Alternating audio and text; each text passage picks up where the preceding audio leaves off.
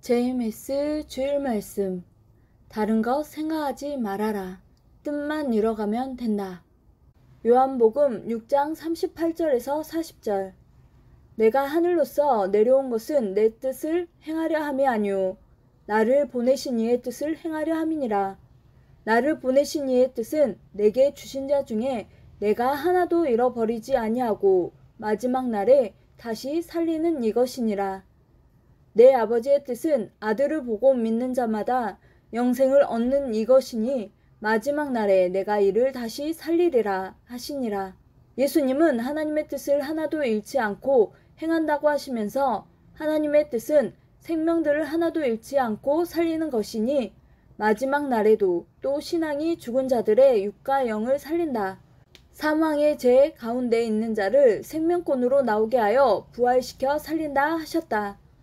육신, 시체의 부활이 아니라 사망에 있는 육과 영을 살리는 부활, 사망에서 생명권으로 나오는 부활이다. 메시아 주를 믿는 것과 주와 일체되어 사는 것이 부활이며 살아난 것이다. 이것이 하나님이 메시아 예수님을 통해 행하시는 뜻이다. 고린도전서 15장 22절 아담 안에서 모든 사람이 죽은 것 같이 그리스도 안에서 모든 사람이 삶을 얻으리라. 구약 아담 안에서 사망권에 죽어 있던 자들, 영이 죽어 사천년간 못 살아난 자들도 메시아가 오셔서 하나님의 말씀을 전할 때 듣고 따르면 다 살아난다.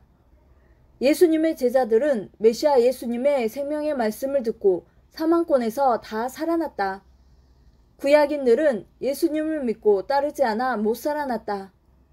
그러나 육신이 죽었어도 모세나 엘리야 선지자 같이 영이 와서 예수님을 믿고 따른 자는 사망권에서 다 살아났다. 마지막 때도 예수님은 또 와서 살리신다. 구약의 마지막 때도 하나님이 예수님의 육을 쓰고 오셔서 살리셨듯이 마지막 역사 때도 그러하다. 메시아를 믿고 따르는 것이 부활이다. 육도 메시아를 믿고 사니 사망권에서 생명권으로 살아난 것이고 영도 믿고 사니 살아난 것이다. 이 같은 하나님의 뜻을 행하러 왔다고 예수님은 말씀하셨다. 예수님은 말씀을 전하여 사망에 처한 자를 생명권으로 나와 살아나게 했다. 산자이신 예수님의 말씀을 듣고 따르면 산자가 된다. 구약인들은 실상은 죽은 자요. 신약인들은 하나님의 아들로 오신 예수님을 따라 살아난 자들이었다. 그래서 예수님은 하나님의 그 뜻을 이루러 왔다고 하신 것이다. 어느 시대든지 하나님이 보낸 사명자들은 신앙적으로 육도 영도 사망권에 있는 자들을 살리러 그 시대에 하나님의 말씀을 가지고 온다. 자신이 먼저 살아나와서 생명의 말씀을 전하여 모두 듣고 따라오면 그들의 육도 영도 사망권에서 진리의 빛 가운데로 오니 살아난 자가 된다. 구원을 받게 된다. 이 시대도 그렇게 하여 하나님의 뜻을 시대의 사명자는 예수님의 육이 되어 이뤘다. 말씀을 들어야 살아난다. 말씀이 곧 하나님이다. 말씀이 예수님이요 성령이다. 우리는 육이 되어 행한다. 성령의 말씀을 우리가 듣고 행하면 성령이 우리 육과 동행하시며 함께 행해 주신다.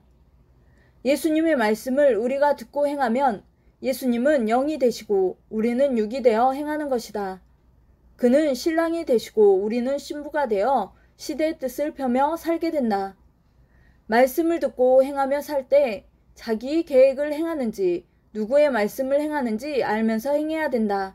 전능자와 예수님의 말씀을 듣고 행하여도 자기 생각으로 살면서 행하면 함께 하시지 않는다. 시킨 일을 행하면서 시킨 자와 함께 행해야 시킨 자가 함께 하시어 최고의 방법으로 행하게 된다. 이것을 알고 행하는 자는 정말 복 있는 자다. 행하는 자만 원하는 것을 얻고 행하지 않는 자는 전혀 모른다. 구약시대 사람들은 구약시대 하나님의 뜻과 목적만 알고 새시대, 신약시대의 것은 절대 행치 않아서 몰랐다. 새시대의 소경이었다. 신약 시대의 사람들은 구약에 대해 예수님이 가르쳐 주셔서 알고 신약 시대에는 구약과는 비교도 안 되는 자녀권의 사랑을 행했다. 구약에서 하나님이 약속한 대로 메시아 예수님, 다른 말로 해석하면 그리스도를 보내셨으니 그를 통해 말씀을 듣고 행하면서 믿어 육신도 천국같이 살았고 그 영도 천국으로 갔다. 신약 때 예수님은 내가 때가 되면 신랑으로 다시 와서 한다 라고 약속만 하고 그 시대에는 신약 시대의 것만 하셨다. 새 시대의 역사는 새 시대가 와야 새 시대에 하나님이 보낸 자를 쓰고 하신다. 천지 만물을 창조하시고 인간을 창조하신 것은 하나님 목적의 뜻을 이루고자 합니다. 고로 나의 뜻만 이루어라 하셨다. 종교 역사 현재까지 6천년의 역사는 메시아를 보내서 죄에서 인생들을 구원하여 그들을 통해 오직 하나님의 뜻을 이루는 역사였다. 뜻이란 하나님이 생각하고 계획하신 목적이다. 하나님 성령, 성자도 예수님도 시대의 사명자도 와서 행하는 일은 오직 하나님과 모든 사람들이 영원하도록 하나님이 최고로 소원하시는 뜻을 이루는 일이다.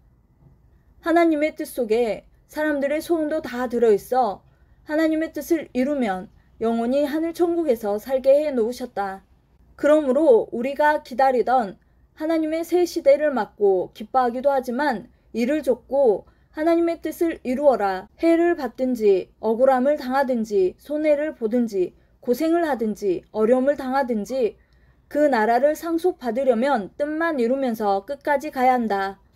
절대 시대의 뜻을 이뤄야 되고 저마다 하나님이 사명을 주고 이루라 하신 뜻을 이뤄야 한다. 뜻을 이루면서 어떤 고통을 받아도 하나님, 성령님, 예수님은 원하시는 뜻을 절대로 이루시고 절대로 함께 돕고 행하셨다. 하나님은 우리가 더 잘되게 기도하면 기도한 것을 우리 뜻대로 하는데 쓰지 않고 하나님이 원하는데 쓰신다. 하나님의 뜻을 이루는데 쓰셔야 하나님도 좋고 우리도 영원한 황금 천국에 가고 미래가 있고 현재도 희망으로 살게 된다. 하나님의 뜻을 이뤄야 우리 뜻도 이루어져 영원한 영의 존재가 사망으로 가지 않고 생명의 영이 된다. 하나님 말씀같이 다른 거 생각하지 말아라. 뜻만 이루어 가면 된다. 그러면 영원한 승리를 한 자다. 뜻을 못 이루면 세상의 부귀영화를 다 누려도 그는 영원한 실패자다.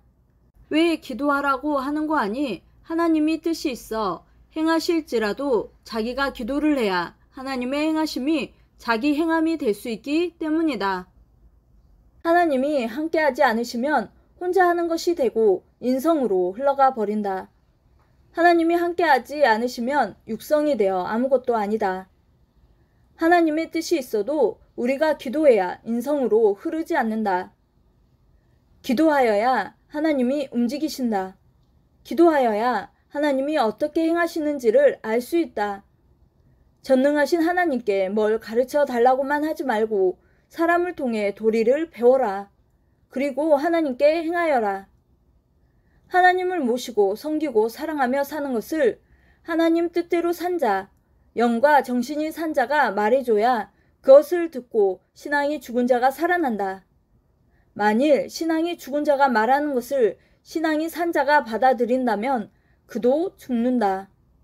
이 시대에 살아있는 말씀을 전해주는 자의 말을 들어야 이 시대 하나님의 뜻대로 살아간다. 자기 것도 하나님의 이 시대의 뜻도 다 때가 있다.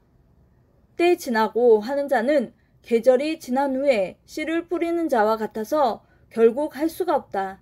할 일을 안 하면 후에 가서 후회한다. 우리는 모든 자들이 기다리던 이 시대의 하나님의 최고의 뜻을 지금 이루고 있다. 아무것도 생각하지 말고 어떤 일이 있어도 하나님의 뜻만 이루면 된다. 그래야 원하는 대로 해주신다. 아멘.